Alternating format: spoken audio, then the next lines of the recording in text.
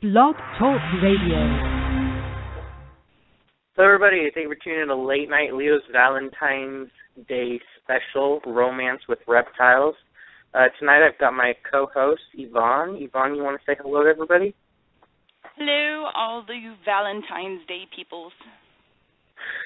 So tonight we're gonna just gonna take a bunch of callers, and uh, if you guys want to call in with your dating disaster or love story on how uh, it worked out being uh dating and meeting people with uh you know people with uh over a hundred uh little monsters back behind that closed door.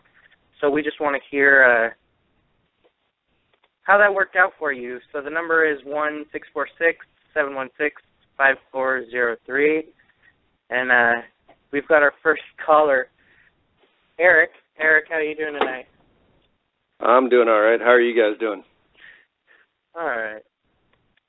So, what are you working on this year, Eric? Uh, not much actually this year. I'm planning on just doing a little bit of a prove out. Uh, I have that snow rainwater male that I was telling you guys about earlier, and yeah, he was sold to me 100% het eclipse, 100% het blizzard. So this year he's going to go to a snow typhoon, and then he's going to go to just my eclipse female. So I'm just going to keep it small, mainly because I've got plans to move, and then I'm going on a two and a half week motorcycle trip. so Ooh. I'm not really trying to produce a whole lot this year. Just keeping it very, very small and seeing what I get. And then I also have two blizzards from from Josh Hawley, and so Yeah. I'll probably maybe pair those up later after I after I get back, late August. So we'll see. Uh, you know, I don't know, but I'm keeping it small this year. Just just trying to prove out till I get moved. I don't want to be moving eggs and babies and all that other stuff. Mhm. yeah, that So- sucks. So, Yeah. do you have any uh, horror stories about dating with reptiles? Uh, no, actually, I have a success story, so to speak. Uh, my current girlfriend hadn't really been exposed to reptiles, so when I met her, I made sure that I explained like I've got snakes, and you think I have one or two pet lizards, but I've really got like sixty to a hundred pet lizards. So just so you know, uh, which turned out fine. She she's not on the snakes, but she's getting there. She's not afraid of them or anything like that and she absolutely adores adores the geckos and her daughter does too.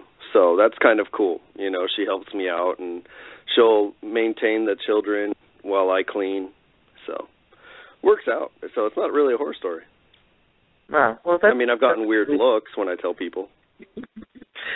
Yeah, I, I, I I've gotten a bunch of those, and uh, you know, they're like this call cannot be completed once you tell them you've got, you know, 250 geckos. yeah exactly. Just- and i mean that goes for really truly the weird looks come from anyone and everyone. Uh yeah, you know when you're just talking to people they they give you that look like you have how many? Um tell them and they just kind of look at me like you're crazy. I'm like yeah but they all live in basically you know 16 to 28 ounce tubs. You'd never hmm. know if you came over to my house that I had that many Yeah. reptiles. You'd know that I had two leopard geckos two big snakes and and currently a chameleon in my living room. That's it. That's all you would ever see. Yeah, so. Yeah. It's, it's convenient having them locked away. I mean, Oh yeah, I mean most of my geckos are would would love to be interacted with, especially if I had guests over. They would be they'd be dying to come out. Um, you know, but the, you know, people it's just not feasible to have them with my cat in the living room. He's not uh the kindest to to an- other animals. He's very much an apex predator, or at least wants to be. yeah. So So, do you have any other projects to talk about, or Uh, no, I, no, really. Like I said, I'm really keeping it small. My page is Geckotropolis. Uh, hasn't really been been active as I've tran- been transitioning into the whole uh dating scene and dating with children. And my son is 16 now, so he's got a lot of stuff going on. So I really haven't been keeping up with my Instagram or my my Facebook page, but it is Gecko Geckotropolis, and you can find me on Instagram under that name and also Facebook. So I'm gonna try here soon. Now that things are dying down, I'm gonna try to get more pictures up and and get things posted for sale and stuff. Right on. All right. Well, thank you for calling in, Eric, and uh, I'll talk to you some other time. All right. Thank you very much for having me. I'll stay on and listen. All right. Bye. All right. Bye. All right, Yvonne. Tell us a story. I'll tell a story. And this is 25 actually minutes. I tell a 25 minute story. She's the thing that never shuts up. Make her stop. Uh, the very first day that I ever met my husband, it, I was there was something going on with the the ball python. I don't even remember what it was, and he was standing there behind me, and I reached into the cage and turned around and said, "Here, hold this," and did not even stop to think if is this person I've never even spoke to the guy, did not know if he's afraid of snakes, has a phobia, doesn't like them, he's going to take the snake and like fling it across the room. Just grabbed the snake and put it straight in his hands and then I locked up and went, "Oh my goodness, what have I just done?" and looked up at him and he was totally cool with it and you have those epiphanies and it's like this is the one. so that's my whole marriage story right there that was a success story too, but I guess we could like do it lie and tell it the other way. He screamed and ran out of the room. Never so came what back. projects are you working on this year? Right now, honestly, I I'm kind of torn between which ones I'm looking forward to the most. Is I have uh two really nice Murphy patternless no hats from John and I'm kind of really excited about seeing, you know, just raising those babies out. And uh always with the Diablo Blancos, I'm very very excited about the Diablo Blancos. But as far as like from scratch projects, I don't really do that. I have the whole keep it simple stupid method and buy something that I really like and enjoy and just keep those lines going because we have like several of Marsha's uh different um mo- uh, what do I want to say? Morphs, sun glows, and so I like just doing the instead of doing the where somebody buys and then adds the different species or you know they're aiming for this particular trait or another. I just get it and breed it because I like what it is already. I'm not trying to make anything for myself or do special projects of any type. Like, yeah, I Yeah. like the way this looks, and I just want to keep it that way. Plus, it always um, pays to breed animals that you can be just a total name dropper instead Yeah. of doing the oh I bred this and created this. When you're basically nobody in the industry, it pays to kind of have well this is from you know John Scarborough or this is from Marsha McGinnis, and you have that kind of thing going for you Yeah. When you Yeah, don't like have the- a name for yourself. Yeah. The simple projects are I don't know, I like them a lot a lot better now. I mean, the complex stuff and Well, just, the the more complex to me seems to be very intimidating. I just want to have very nice quality geckos that have excellent temperaments that come from excellent bloodlines. Uh, when you start adding in the 66% this and you know 50% had that, my I look like you hit me in the face with a frying pan and just stand there going, "Duh." What does that even mean? Is that in English? So, just for the sake of my peace of mind, because I have to have somebody add my Yahtzee scores for me, I don't mess with any of that. yeah, I've I've gotten to that point too where I this year I'm not even reading a whole lot of things that, you know, twelve and a half percent pure and it's ridiculous. It gets um the most that I want to have to write down on an ID card is that it's het eclipse. I don't even want to have to deal with 25%, which is I think is a ratio most people don't even bother writing down because it's so far back there. But I just want to put, yeah, this one was from a sun glow, and this one's from an eclipse, and that's about it. Yeah. Keep very enjoyable and not try to. I think if you don't enjoy it, and if you wake up in the morning and you're going, oh my gosh, I think that puts uh too much of a pall across it that you're feeling overwhelmed or it's too much work and then you're not getting any enjoyment out of it which my thing is expressly for the enjoyment i love Yeah. just playing with them and talking to them and watching Yeah, all well, the goofy crap that they do that's that's what it's all about. I mean, unless you're like, like- a, a huge, massive breeder, then you know you should Well, just be you- having fun. Yeah, if you have a knack for it, like some of the bigger breeders that are just like, you know, roll it off the top of their heads without even blinking Yeah. or thinking, um, that's one thing, but you throw a couple of things at me and I'm floundered. I'm just it's what? You know.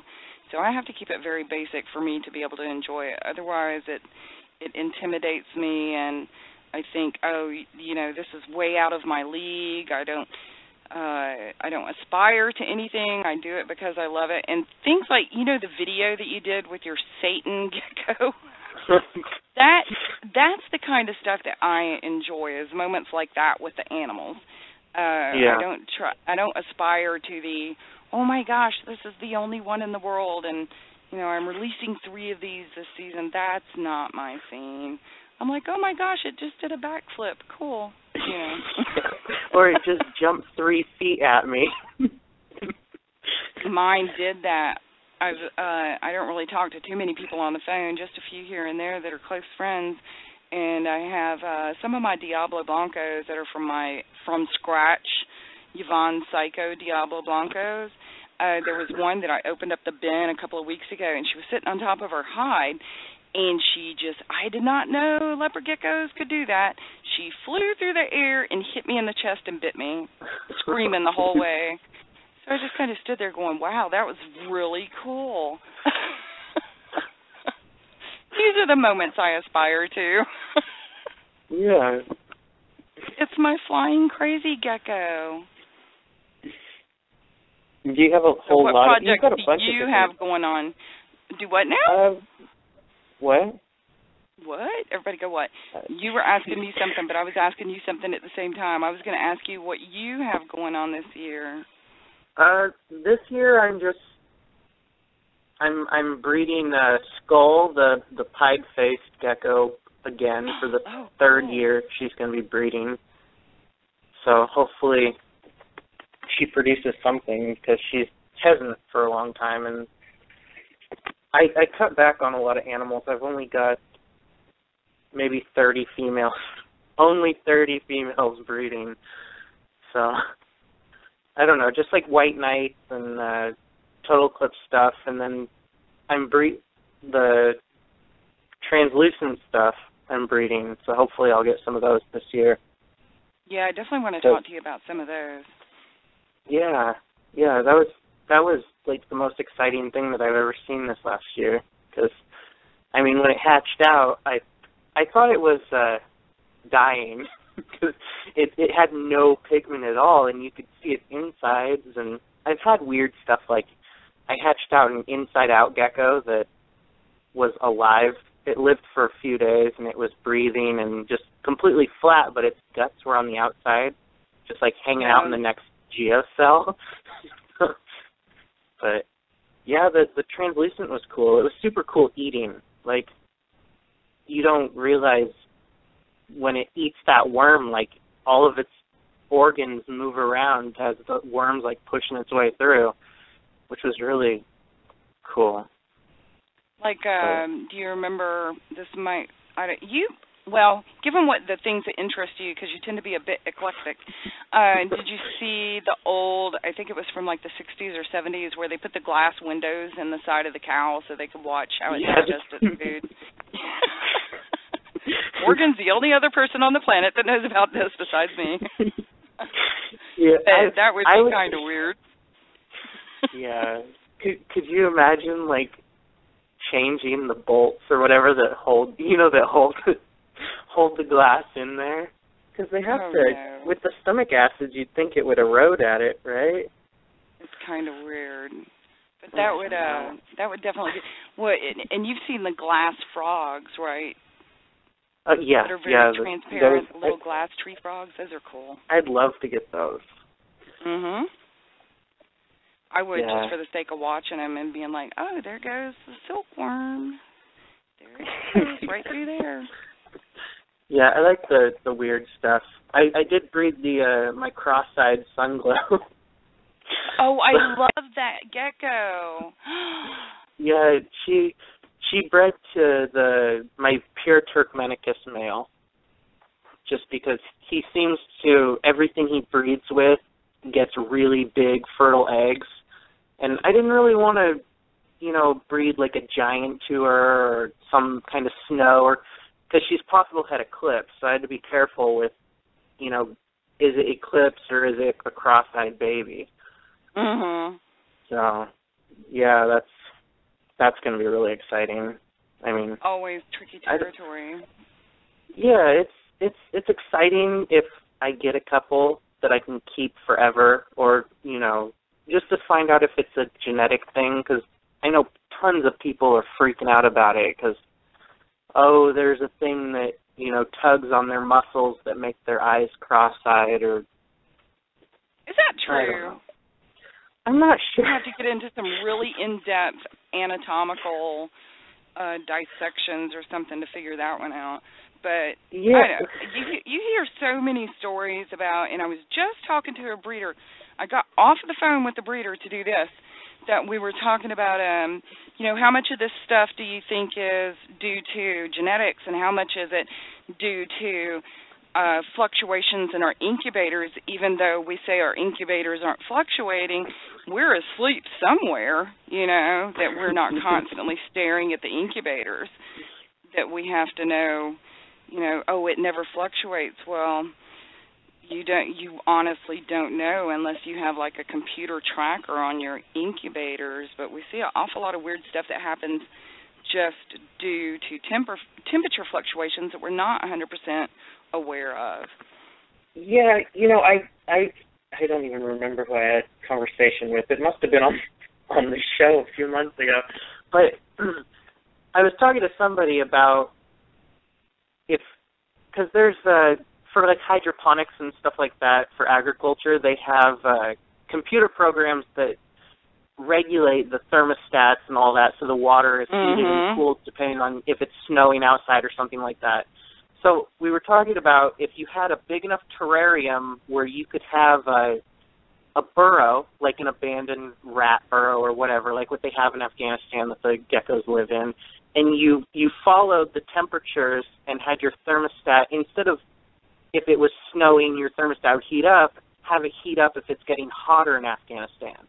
You know, and that way because at night, clear skies it's gonna drop quickly. So It in the wild too. they're fluctuating constantly. Have you ever spent any time out in the desert here in America? No.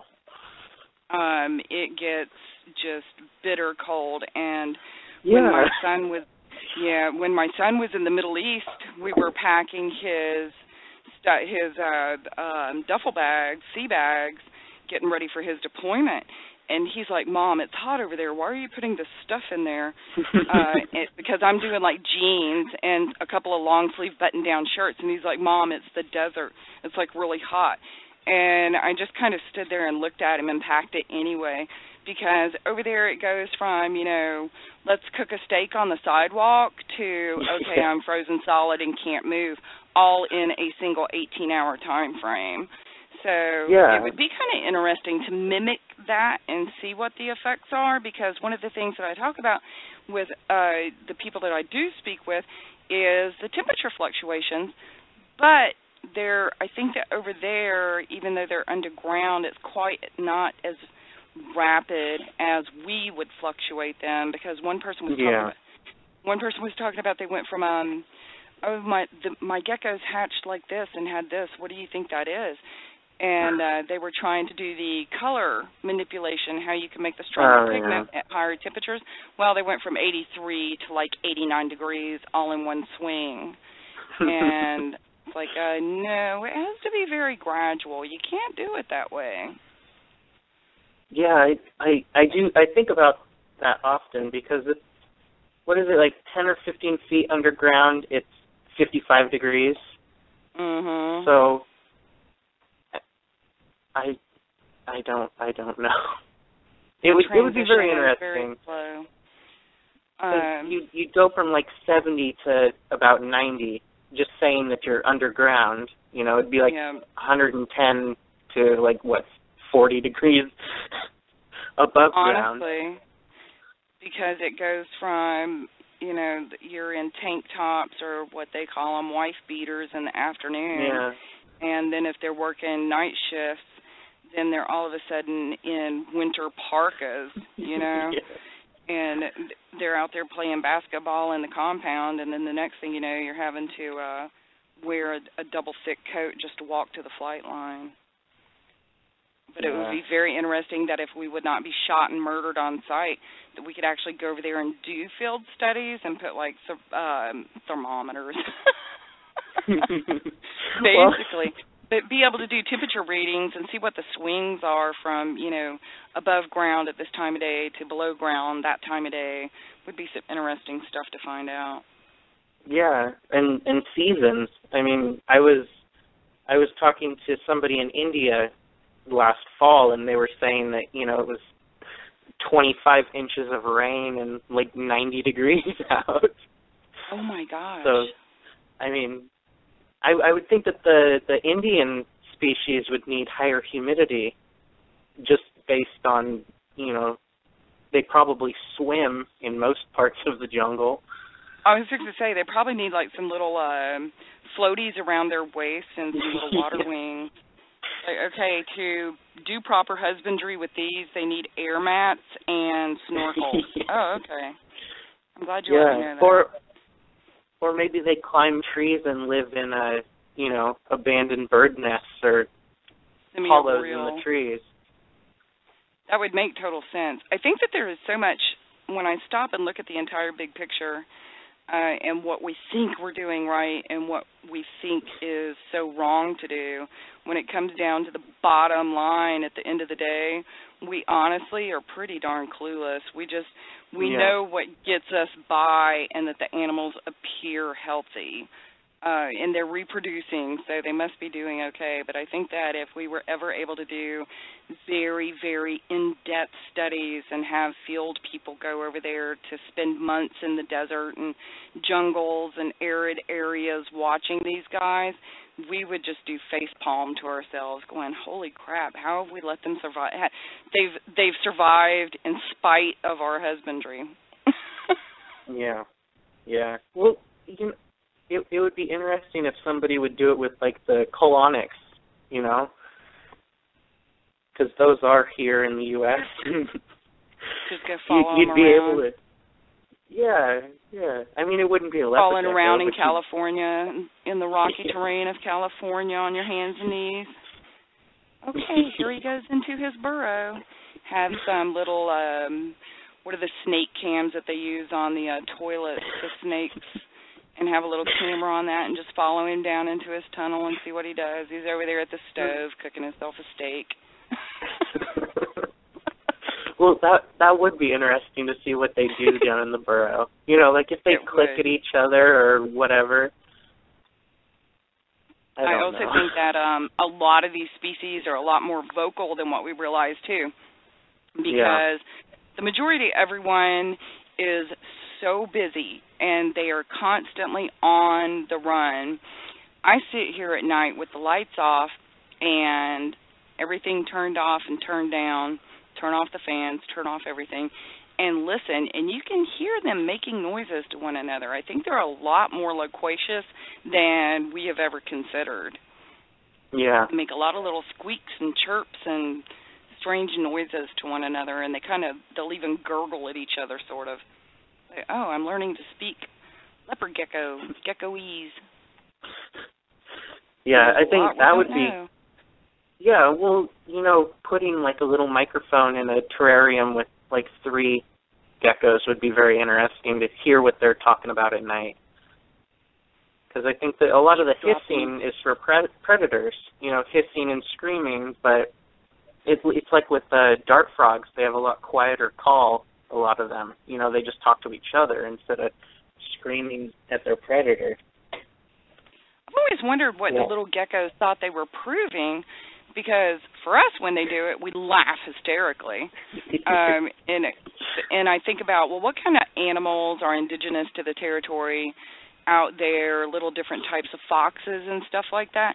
To Yeah. me, that scream would attract more predators. Because yeah, you think of the little desert foxes are very um inquisitive by nature and if they heard that noise they would go, "Oh, let's go over and check this out. Oh, cool, a gecko to eat." I think you're little gecko, I think you're doing it backward. Don't scream. they need a deeper voice. No, like a lion. That'd be kind of cute. But it's a video to a baby gecko roaring like a lion. yes, that's intimidating. Oh, They're off everything within 10 miles. Run for your lives. So, have you seen that uh, lemon frost leopard gecko? Yeah, don't get me going. I just, I'm not very PC, so I kind of have to avoid some topics. I don't know. Some stuff I just look at it and I go, that is absolutely line bred. There's no way you can do this. And they're very beautiful, but people start arguing about, well, is it this or is it that? And I just kind of shut up and sit here. And and then do you again, think it's I line do not. I honestly, I really do. Um, Yeah. But there's always, you know, there's always things that happen, and once again, we really don't even. This is a question that I have always wanted to ask. We always talk about um the different hets and if it's het for this and if it's het for that, and you hear about people that were, uh you know, I've line bred these for X amount of years, and all of a sudden this popped out. Isn't it just always in the math somewhere along the line that if you breed X to X, eventually something is going to pop out? It does it all the time because that's how we've, not we've, you guys have run across some of the different morphs that you have is by, whoa, where'd that come from? So even if you're breeding this to this for X period of time, isn't it just in the mathematics, in the statistics, in the percentages that something, yes, Zephyr, we know, uh, is going to pop out that you were not expecting? Yeah. I mean, That's- there's just I think that's the idea. I mean, a, a lot of people argue with that that if you continue doing the same thing, you won't get anything different. But I mean, see to me, I'm 180 statistically, out. I'm like, if you keep doing it, Yeah. something's going to show up. yeah, there's going to be a genetic mutation at some point. I've Mm, always thought that because you hear too many stories of, uh, you know, I've test bred these animals over and over, and I know what's behind them, and I've test bred, also test bred the offspring from those animals. We've never had anything show up, and then all of a sudden you have something going, ta-da! It's like, oh my gosh, where did it come from? Well, it was just there. It just hit it the right way at the right time for those two you know, little DNA, holy cow, to split Yeah. the right way that it appeared. We're having a really bad storm, and I think the storm door on the front of the house just departed for Kansas somewhere. Holy cow! It's it's okay because we have a we have a short show tonight. I only did a thirty minutes, so Oh my gosh! We're- Hang on. I can't even get hold of the door. are you still in Kansas? Oh my goodness. That was I'm probably over the radio. It probably sounds like I'm dying over here. That was scary enough. I hope it doesn't come So- undone again. You you want to tell everybody your your page? Do you have a page? I have uh Wild Wing Creations, but I don't even know if it's a That's page. Um, it's a page, but we don't really um do do or sell or you know we're mainly into them because we enjoy them and love spending time with them this year i would definitely yeah that was the front door it it flew to oklahoma yeah it's still there but um we it's mainly because um yes just enjoy spending time with them but i have bought some uh the last couple of years i've been gradually acquiring different ones here and there uh of like the the Ingerman I would love to be able to breed those when they get old enough and definitely like the Murphy patternless. Uh would love to be able to sell some someday, so I do keep the page semi up to date with just sharing other people's stuff. But yeah, it's Wild Wind Wild Wind Creations on Facebook. But there's not really anything there to see of mine. It's everybody else's stuff. All right. Well, uh, we are at the end of the show, so I'd like to thank you for coming on and being my co-host. And I don't know where Dylan went. Where is I'm gonna have to go yell at him. Shame on him. Yeah. But uh, yeah, thank you so much for. thank you for coming on and being my co-host tonight. All right, thank you so much. All right, We'll talk and to uh, you later on. Yes, yes, I will for sure. And thank you everybody for listening. And don't forget to check out the Reptile Report voting. Uh, I don't know when they're going to stop that. I think it's on the 16th. And yeah, thank you all for tuning in to the episode, and we will see you next time.